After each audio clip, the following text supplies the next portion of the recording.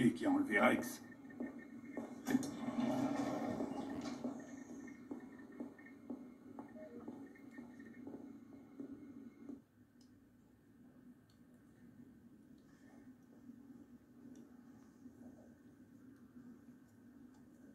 Vous ne pouviez pas aller faire vos analyses à l'hôpital comme une personne normale?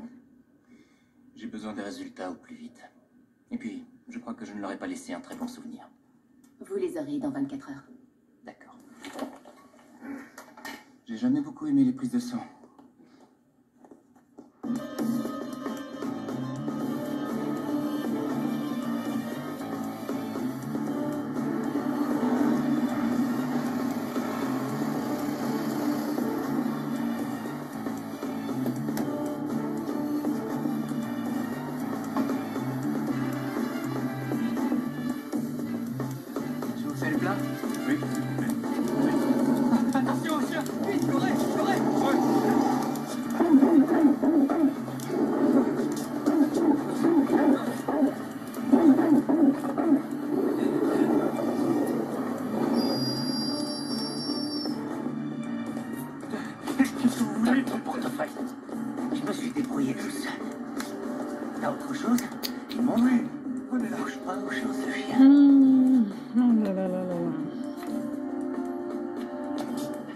Valerio, c'est ça. Nous savons comment tu t'appelles et où tu vis. Un bon conseil oublie nos visages. Compris Appelle Rex, on y va. Viens, Rex.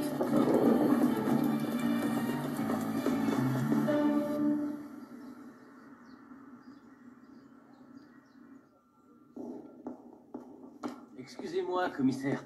Le docteur Deluca veut vous voir. Le cadavre d'un homme a été repêché dans le Tibre. L'autopsie va commencer. On repêche vraiment n'importe quoi dans ce fleuve de nos jours, hein Bizarre, est-ce que tu sais nager? Oui, pourquoi? Alors méfie-toi. Pourquoi est-ce qu'il me dit ça? Bizarri, un peu de jugeote, bon sang. Rivera aussi a été repêché dans le fleuve. Et? Laisse tomber. Écoute bien, Bizarri. Demain, c'est la dernière ligne droite contre Vernazza, le grand meeting. Alors je t'en prie, donne-moi un coup de main et mobilise les gens. Oui, super. Et tu veux bien m'aider à décortiquer tout ça, sinon j'y suis encore demain. Eduardo Viola, 42 ans, célèbre physiologiste. Il avait encore tous ses papiers et de l'argent sur lui. Il a une curieuse échymose sur la cheville, comme s'il avait été attaché ou enchaîné à quelque chose. Je n'ai pas encore pratiqué l'autopsie, mais la cause de la mort semble être la noyade. Pourquoi j'ai l'impression que tout ça me concerne Pour deux bonnes raisons. Déjà parce qu'on l'a trouvé à quelques mètres à peine de l'endroit où on vous a trouvé l'autre soir. Et ensuite parce que la procédure est exactement la même à l'intérieur d'un sac et probablement sédaté pour faciliter les opérations. Il y a sûrement une Madame Viola. Tu me détestes, hein? Bah moi aussi. Fichu tous mes projets en l'air il y a trois ans, tu te souviens Miguel Il a survécu, regarde Ils ont fait un article où ils expliquent comment ils s'en est tirés. C'est pas grave, Lucio. Ça n'en sera que plus amusant. Imagine quand Rivera apprendra ce que son gentil chien est en train de On faire. l'aura à notre eau s'il remuera ciel et terre, Michael, et tu le sais Je sais que David Rivera le considère comme un véritable fils. Il ne tentera rien à considérer, parce qu'il sait parfaitement qu'on pourrait le tuer si la police débarquait ici. Crois-moi, Lucio, jamais il ne risquerait la vie de son chien adoré. N'est-ce pas, Rex?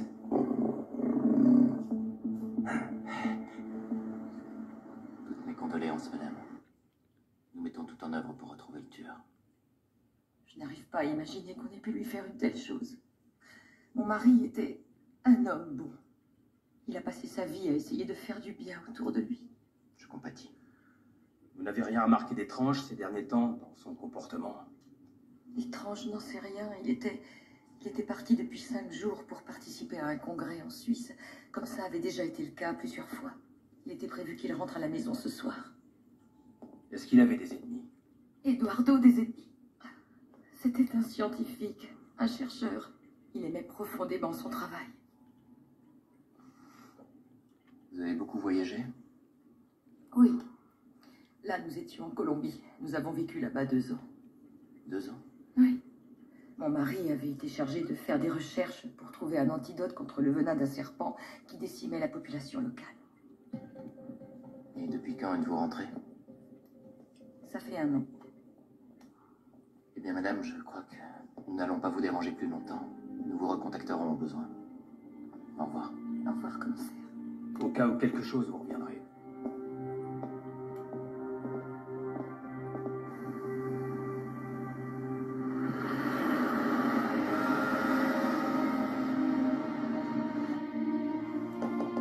Du nouveau, docteur Bonjour, commissaire. Oui, c'est un miracle que vous soyez en vie. Voilà les résultats de votre prélèvement sanguin. Nous y avons trouvé les traces d'un venin très rare en Europe. Il provient d'une race de grenouilles qui s'appelle cocoï de Colombie ou philobat terrible. Venez voir. J'ai commencé à me documenter sur le sujet. Les philobates terribilis comptent parmi les espèces les plus venimeuses au monde. Un seul gramme de leur venin peut tuer un être humain en moins de 3 minutes. Des grenouilles? C'est quoi cette histoire? Leur venin est d'une puissance hors du commun. Voilà ce qu'il fait. Il empêche les neurones de transmettre toute impulsion, ce qui a pour effet de laisser tous les muscles contractés, le cœur y compris, entraînant donc un arrêt cardiaque, et c'est la mort assurée. Alors comment ça se fait que je sois devant vous aujourd'hui et non étendu sur votre table d'autopsie? Parce que ce venin a été altéré par l'ajout de substances chimiques qui l'ont rendu seulement narcotique au lieu de létal. Et où on peut trouver ce venin? En pharmacie? Non, ce n'est pas quelque chose qu'on trouve sur notre territoire. Les cocoïs vivent en Colombie et nulle part ailleurs. En Colombie? Oui. Pourquoi?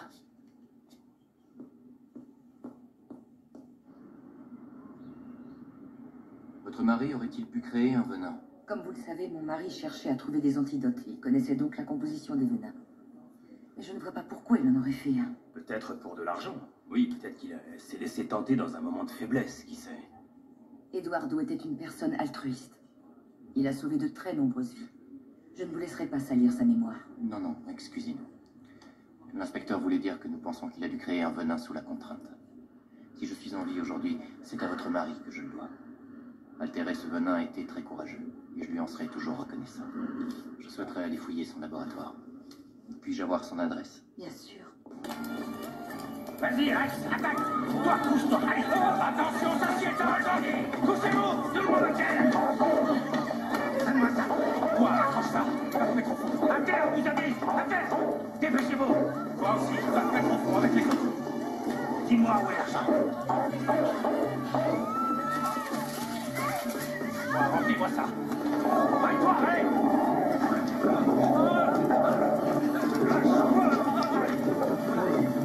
Pas de blague, hein Prends sac Allez, dégage T'es Et bouge pas ou je tire chien de te bouffer Toi aussi, à terre, comme tout le monde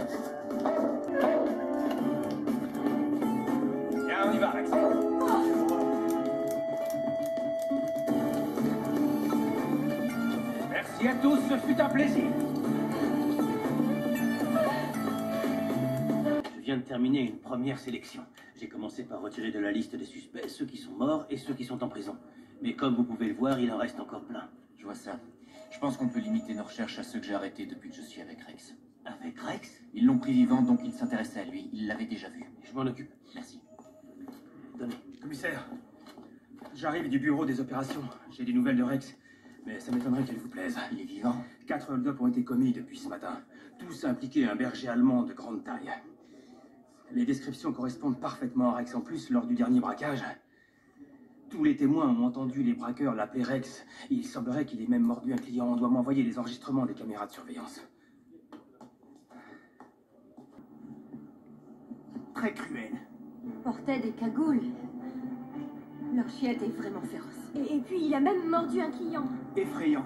Vraiment effrayant, je vous jure. Ils l'ont appelé Rex et euh, il avait les yeux injectés de sang tout rouge. J'avais très peur pour mon garçon.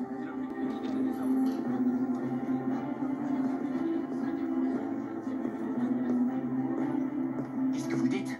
Vous n'êtes pas sérieux. Je suis très sérieux, David. La situation est bien trop grave et j'ai peur de ne plus pouvoir la gérer. Vous êtes en train de me dire que vous voulez abattre Rex? Je suis en train de te dire que j'ai reçu des ordres. Au prochain braquage, nous serons obligés de tirer sur Rex. S'il continue à semer la panique, il ne sera plus du tout de mon ressort de lui éviter le pire.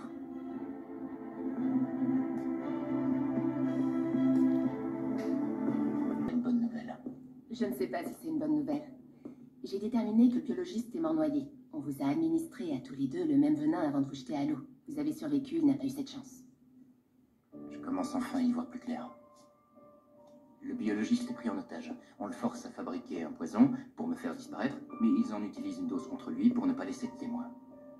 Reste plus qu'à comprendre ce qui est arrivé à Rex. Non, ce n'est pas... Ce ne sera pas utile.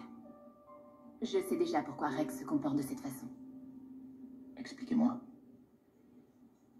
Sur les mains de la victime, j'ai trouvé des traces de phéromones. On les utilise lors des combats de chiens pour stimuler au maximum leur agressivité. On a aussi dû lui faire faire un sérum pour Rex.